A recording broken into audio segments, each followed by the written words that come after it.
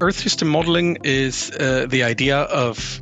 having a, a, field of science that deals with the different connections that happen across the different spheres of Earth, if you will. So you, one can think of of the hydrosphere, so everything that is related to water. One can think of the atmosphere, of course, uh, but there's also other things like the biosphere and the elements that have to do with with carbon cycling and, and life itself. And the type of work that we do in, in the simulation and data lab has to do with the intersection of Earth system modeling, in particular, what corresponds to, to the processes that are related to the surface of the Earth in terms of ecology, hydrology, and so on,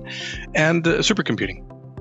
Within the Deep Sea project, we participate uh, with a particular application, a particular particular type of Earth system model, which is called the Terrestrial Systems Modeling Platform, or TSMP for short.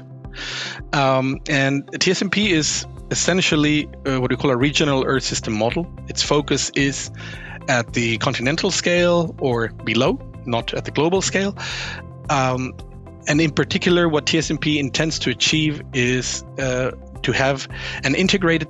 modeling approach for the processes spanning the subsurface, the surface of the Earth, and the atmosphere. We have to basically represent very complex physics, very complex chemistry. Uh, we want to represent biological processes and formulate them in a mathematical way somehow. And then these have to go into a computer and get solved.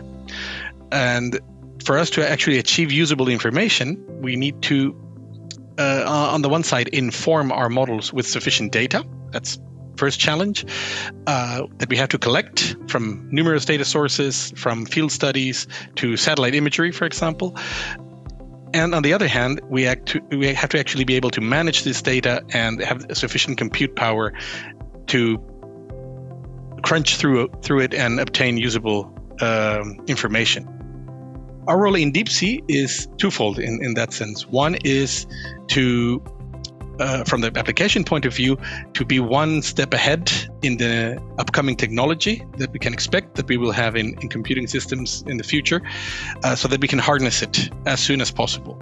The other role that I would say we play in the Deep Sea project is the co design role since we are an application which potentially can see benefits in using many of these developments that are happening in, in the Deep Sea project. So we've picked a few of these different elements, such as modular supercomputing architectures. We've also taken up the idea of having energy efficiency computation, so performance analysis on the fly, and we're exploring these ideas uh, to see if we can incorporate them into our into our workflows. Uh, what is the potential benefit that they may have and how they also contribute to to improving the performance of the overall system and provide at the same time uh, which is the really important part of co-design to provide at the same time feedback to the to the developers of this software in how